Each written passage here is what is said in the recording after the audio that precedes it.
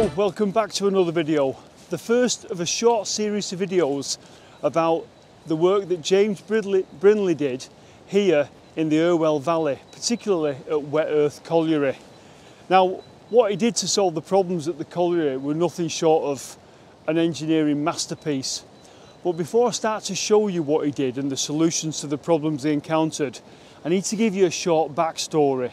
So just while I give you that backstory, I'm going to be walking upstream up the River Irwell to a weir where James Brindley harnessed the power of water to solve the problems down at the colliery. Let's go and I'll tell you the story. So where are we this week? Well, we're here. We're in Salford. Uh, we're just to the west of Manchester city centre. You'll see there. We're in a place called Clifton. We're actually in the Irwell Valley, the Irwell being the River Irwell, and if I just pull the map in further, the Irwell Valley uh, is very has got a rich history of coal mining. Unfortunately, there's not much coal mining happens here anymore, but in the past there was uh, many many pits dotted around. Now I want you to familiarise yourself with that locality. You'll see the little lake there just to the right of the uh, the map, um, and you'll see that the River Irwell just meanders around the lake. We're going to walk to the top of the screen there um, on the River Irwell to a weir. Like I say, rich history of mining in this area, and we're concerned with one particular mine, the Wet Earth Colliery, otherwise known as Clifton Colliery.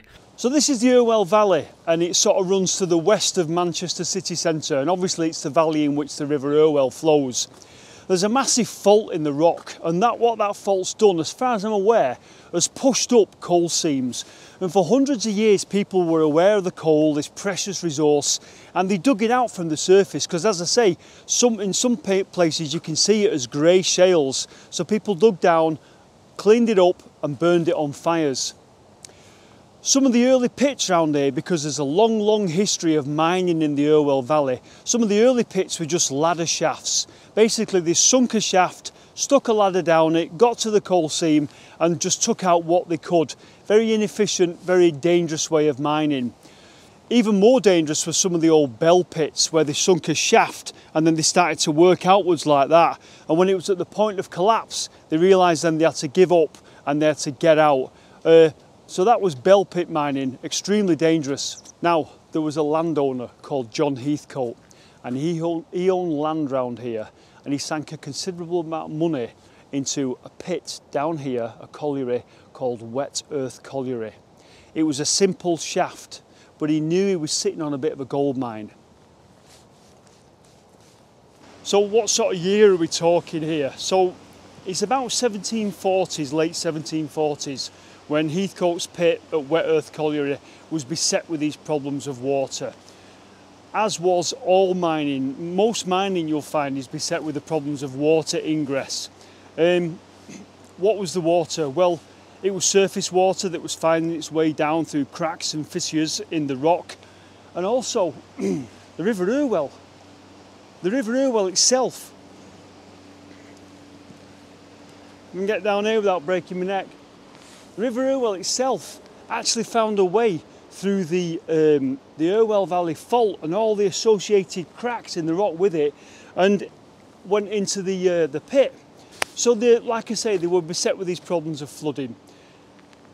I've read a book at the moment, and what they're saying is about 60 gallons a minute. Now, apparently, that's not a lot, but I don't know anything about water ingress in mines, but 60 gallons a minute. And they were trying it with buckets. pulling uh, the water up with buckets and, and a horse gin. So let me show you the sort of arrangement they had, the primitive arrangement they had at the gold pit back in the early days. They had this pit pony that was attached to a horse gin and it just went round and round and round and it operated a winch mechanism and they were bringing the water up with buckets completely and utterly inadequate considering the supposed sort of read 60 gallons a minute that were pouring into the pit. And that isn't a lot for a, a, a pit working apparently. They even tried buckets sort of like multiple buckets on a, on a rope. So there was like you know one bucket after the other. And this is before they can even bring the coal out. So Heathcote is at a loss. He knows he's sat on a fortune, he knows there's coal there, he knows he can make money. And let's not deny that the prime motivator for all this work that went on subsequently was to make money, to get coal out of the ground and make money. So Heathcote calls on, he knows of a local family in the area called the Fletchers, and they've got mines over in Bolton and they're quite doing quite well. So he calls on Matthew Fletcher, one of the sons of the mine owners around there, who's quite well known as an engineer, quite a clever lad. Now he was only 18, 19, Matthew Fletcher, but he brought him in as a kind of consultant and said, what can I do here? How can I get rid of the water from my mine to get to the coal? Well, Matthew Fletcher, even though he was a clever lad, he couldn't solve the problem either. So now we're about 1750 and Heathcote decides to shut down Wet Earth Colliery, not because he's give up, but because they can't cope anymore with this water, it's completely inefficient and he needs to come up with a solution. So what does Heathcote do? He'd heard of an engineer called James Brindley. Now there's a few rumours that they met at a wedding um, I'm not quite sure about that, but he heard of this engineer that was getting a bit of a reputation for himself. Like I say, James Brindley. So he brings Brindley in and says to him, Can you solve the problem of water ingress at my mine? And that is where the engineering story begins. It's now 1750. Brindley does a survey of this land. It takes him two years till 1752. And his solution is to build a weir.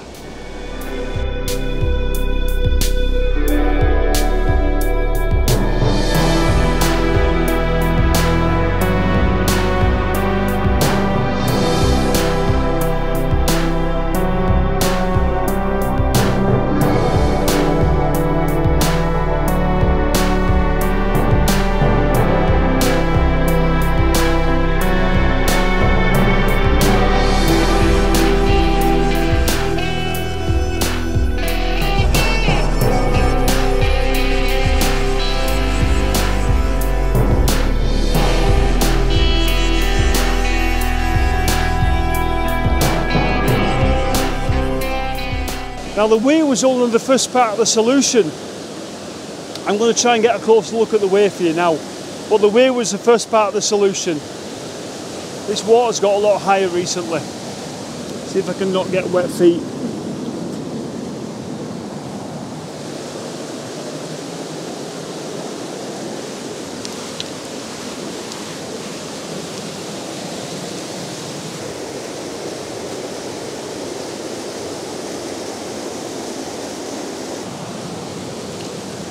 This isn't the original weir. This was built later, as you can see it's concrete. Um, but Brindley's Weir was here. This concrete modernised structure was built about 1924 and it was, the reason it was built was because over that side they built Kearsley Power Station and they utilised the head of water to cool the, uh, for the cooling for the power station. Well that's a side story. If you look on the far side you can see some of the stone and that is from Brindley's original construction. I'm also wondering if this stone here is from Brindley's original construction. It must have been a hell of a thing to build. If you look at the flow now of the River Irwell, what a thing to build. Well basically what Brindley wanted was a head of water, right? A normally shallow fast flowing river.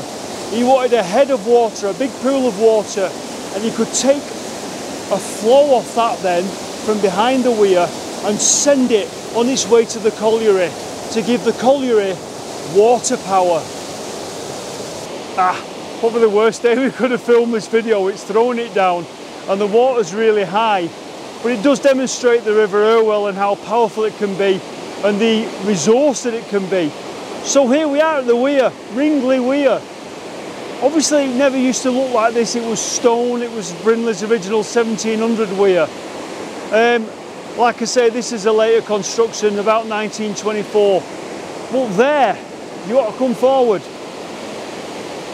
There's Brindley's head of water. That's what he needed. He needed a vast source of water.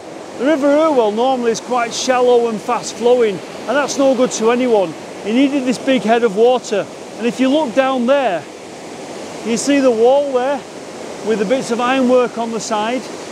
That is where he took a flow of water off, off the head and took it to do its bidding. Let's go down there and see if we can get a closer look at those sluice gates and the entrance to Brindley's Tunnel. Now just before we do that, let me give you an overview of what's going on here. You'll see at the top we've got Ringley Weir and I'm about to show you the sluice gates on the side. Those will take the water into a tunnel represented by the red dotted line. So James Brindley dug a tunnel and it went roughly in the direction of the dotted line. Now it was a bit more, it meandered a bit more than that because he kept hitting different types of rock and he had to stick to the rock that they could actually dig through. In some parts that tunnel was unlined and in some parts it was brick lined. He takes the water to the riverbank. You'll see where it says siphon downcast. The river Irwell has now meandered round and we've come to the riverbank. He takes it underneath the river, and I'll address that in more detail later. And he brings it back up on the opposite riverbank where it says siphon upcast. It then runs along in an open stream, what they call the feeder stream, and it runs down where it makes a sharp turn left to the bottom of the picture and it will go into the colliery where it will drive a water wheel and that is the purpose of all this. Now, something I just need to address on the map, on the picture for you, you'll see it says Clifton Marina. That's much later. Clifton Marina was dug out in the 1960s when they were building a nearby motorway, the M60 motorway. They used a, they dug out a big gravel pit. They later decided that they would fill the gravel pit with water and make the whole area um, uh, a nature reserve. So at the back in the 1700s, 1752 Clifton Marina wasn't there. The whole area was farmland and little collieries dotted around. But that's an overview of what James Brindley is trying to achieve. Right, so let's see if we can see this, this sluice inlet um, where Brindley took the water down into the tunnel. There's not a lot to see, but I'll see if I can get you a shot. If there's any uh, rain on the lens, I'm sorry about that, but it's thrown it down. Uh, need to be careful. I've checked this, it's solid.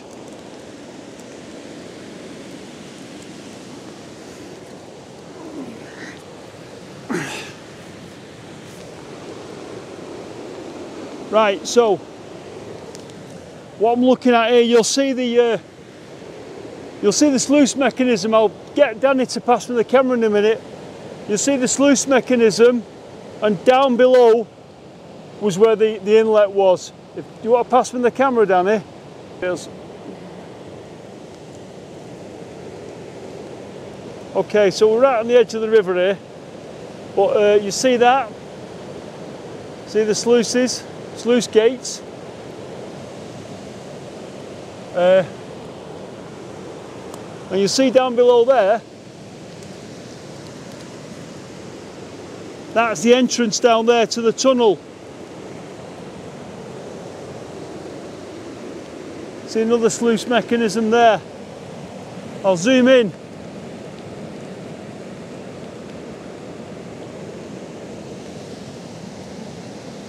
So down there, if we could dig down there, you'd get into the intake. And obviously this was operated from above, up here, up there. See if we can get out now.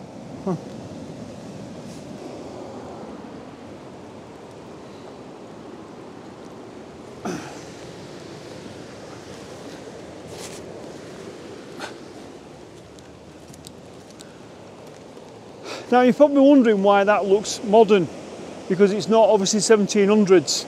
It's brick and it's got a concrete top on it. Concrete top there. For a while this still fed Fletcher's Canal which is down um, further down the valley. We'll come to Fletcher's Canal. Let's go and see now where the tunnel, Brindley's tunnel that took the head of water now this way, where it ran because it goes now back towards the River Irwell. Hopefully at this point I've explained to you with maps and with overlays and things like that. So let's head on down the road now. We're going now towards Wet Earth Colliery and we're following the course of the water from the weir head to where it's going to carry out its function. Now, just before we do follow the tunnel or the route of the tunnel, I'm just I'm not holding anything back this week. This is quite a complex thing that Brindley did, and I want to give you the whole thing without holding anything back. You'll see we've drawn this from a book, so this is our drawing, but it's copied from a book. Um, you'll see the tunnel at the weir. There's the weir, and there's the tunnel that takes the water down to the colliery where it will drive a water wheel. They built a series of what they called washouts. I like to think of it as a overflow, but they built a washout, and you'll see the washout just comes out there off the main tunnel, just below the weir. Right, so we were very interested in that and we wanted to find it, and I think we did. Take a look at this. The weir is behind you, we're just a short way down, and I think here was one of the washouts. Uh, if you come and look at this, if you look at that there, and you look at the construction, look how the stone comes in here, and you've got stone here and some sort of construction there. I think behind there is the overflow for the uh, initial feeder stream. So the feeder stream went off way over that way, but he put this washout in here to wash back into the river. This here, I think is the washout, the overflow. Definitely needs, it's obviously silted up or it's collapsed possible further investigation there, don't you think? So just quickly, there's a few things I want to address. Firstly, the timescales involved. Um, 1750, when Heathcote closed the colliery due to water problems. That's 270 years ago. Quite often in my videos we'll talk about Victorian engineering and how wonderful the Victorian engineers were. This work predates that by many, many years. I looked up who was on the throne in um, 1750 and it was George II, one of the kings of the House of Hanover. And I always think of it as the, the kings with the curly wigs and the tights. That's how far back we're going, we're going back. It's bad enough trying to get your head round 100 years, but 270 years is phenomenal amount of time. So to recap, 1750 the colliery is closed due to water problems. Brindley's brought in. He takes two years to do a survey of the area. After two years, he comes up with his plan.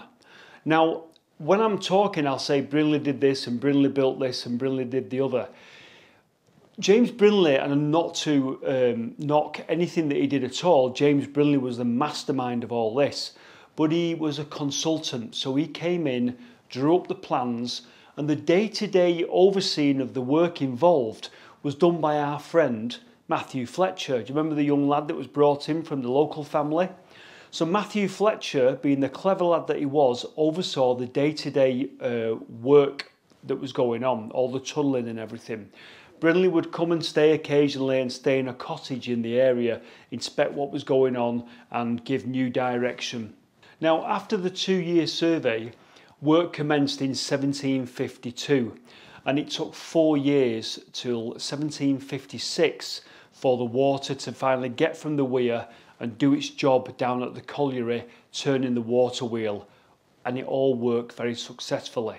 The literature I'm reading says that it estimates that the work could have been done faster than four years, and it's very scant because a lot of the abandonment plans for the colliery were lost and some of those abandonment plans may have had some of the original plans for the building of the whole uh, scheme. So we've got scant, scant evidence to go off. It's said that there was a handful of men that did the work. Now, a handful of men to do this tunnelling, does that mean five, ten? I would have thought maybe 30 or 50 men probably to do the work, although I'm guessing, but it does say a handful of men to dig the tunnels and to get the water to where it was needed to be. They've also looked into what happened to all the spoil from the tunnelling work and nowhere in the area can they find a spoil uh, tip.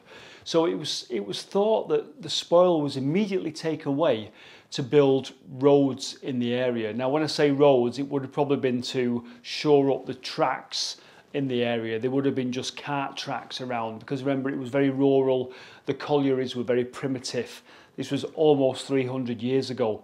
And of course, that was one of the problems of getting the coal to where it needed to be. Um, big problems loading it onto carts, taking it along rough tracks to where it needed to be, probably in Manchester and in Salford. Later, when the canals came, it solved that problem. So, Spoil seemed to have gone and fixed the local roads and the tracks. Now, as we look at the, the plan that I've shown you of the route of the tunnel, you're probably thinking, that's very complicated and it probably took a lot of work. Why could you not just come up with a more simple solution? Well, I'm going to show you uh, the simple solution that was considered on this map now.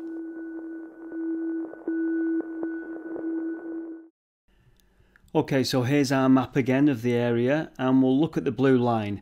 So why didn't James Brindley just do that? Take the water flow to the left of the weir and run it in an open channel down towards the colliery. Well, that was considered, but it was objected to by the landowners in the area. They didn't want an open stream running through their land. How would the animals get from one side to the other? And what would happen if it flooded? So there was strong, strong objection to this. Um, also, they were concerned at the time that it could be sabotaged, that um, you know, if the landowners really didn't like this, they could divert the water for their own use and they could basically sabotage it and cut off the water supply to the colliery. So again, why didn't Brindley follow this much shorter route from the uh, White Arrow? Why did they not take that route down to the colliery? Well, again, same same issues with landowners objecting to an open stream in the area, and they didn't, and Brindley didn't want an open stream. And also at that point, the river now was sunken down into a, a little gorge, if you like. It's not a, a very deep gorge, but it's gone down into a mini valley. Up at Ringley Weir, the land is much higher um, than Wet Earth Colliery, and you get that downward flow of water. The route at the uh, White Arrow, again, the river's too low now, so that's why that much more simple and more obvious route was completely and utterly ruled out. Now, could uh, Brindley have built a dam at the Red X, which was literally almost in line at the side of Wet Earth Colliery? That was considered, but again, the literature that I'm reading, it, it it says two things. Number one, it says that a dam in that area would have flooded massive areas of land, and again, the landowners would not have uh, accepted that. And it's also thought that this was fairly early in Brindley's career, and it's thought that a dam of such scale would be a little bit beyond him at that time. And again, not to knock James Brindley at all, but this was fairly early in his career. Now, another option considered was to build a water wheel, put the water wheel at Red X. Now, where you see Red X, it's quite close to the colliery, but the river at that point is in its gorge and it's about 60 feet below the level of the colliery. So you would have had to taken a drive shaft off the water wheel, run it uphill, which I'm sure was quite possible, and run it along the land to the colliery to turn uh, the pump mechanism to pump out the, the colliery. This was ruled out because it was too complex and the drive shaft would have been prone to snapping and breaking, and it was just not, uh, it was thought of, but they quickly ruled that idea out. Now, back to this idea of a dam and um, the the idea of the River Irwell being ferocious in flood that we've witnessed in Manchester and Salford. We've seen this, and of course, when we were filming, this was February. So I want to show you just how uh, violent the river is, and obviously most rivers in flood can be like this. But we're going to nip back down now to the riverbank, and I'm going to show you uh, the River Irwell's dirty work when it was in full flood flow. Just take a look at this. Incidentally, we're just here by the Irwell in February 2020 and we've just recently had some really high waters and we came a couple of months ago to do a recce around this area. This bridge was intact. The high waters have completely wrecked this bridge. Me and Danny are just completely dumbfounded and you can see it across there. See how it's ripped the bridge over there completely. It was a service bridge. Going back to our feeder tunnel, you will notice at the first part of the tunnel that comes from the weir, it goes underneath Bolton Wastewater Treatment Works, which is basically a sewage works.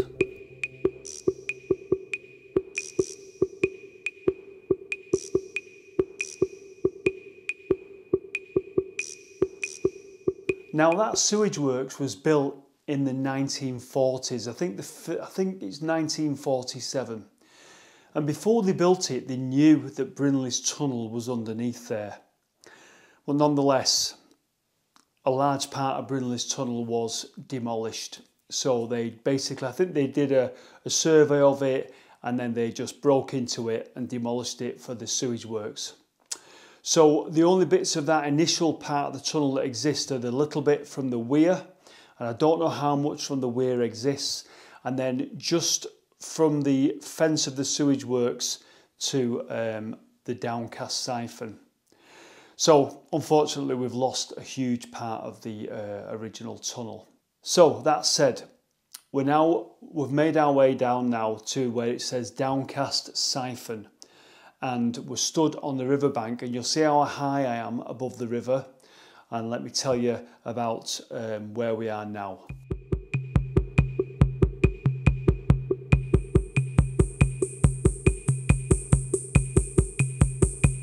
So behind the fence there, that is the sewage farm.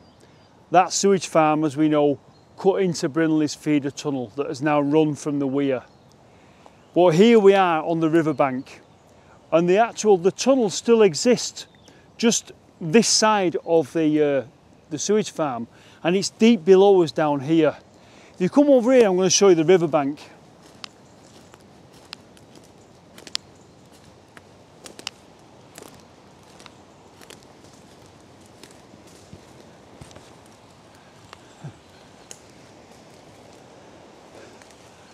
So where I'm stood now, you see we're on the, the higher side of the river. The river's down in the valley. This is where Brindley pulled his master stroke. Previously done by the, uh, the Greeks and the Romans, Brindley took the water and dropped it down a shaft 50 feet underneath the River Irwell, sent it underneath that way and brought it back up in an inverted siphon to feed a stream on the other side of the river.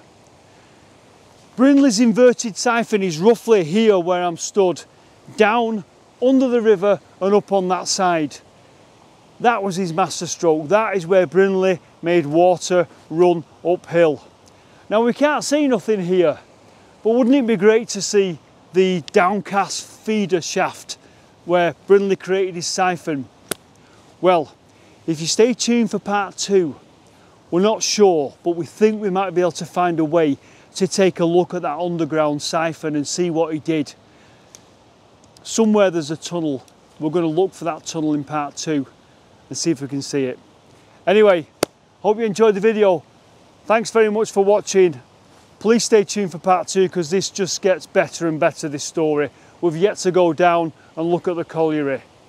Thanks for watching, take care, and I'll see you in the next video. If you enjoy these videos and you want to support me, please consider clicking the join button for additional content. This actually only works on PC or laptop. Thank you very much.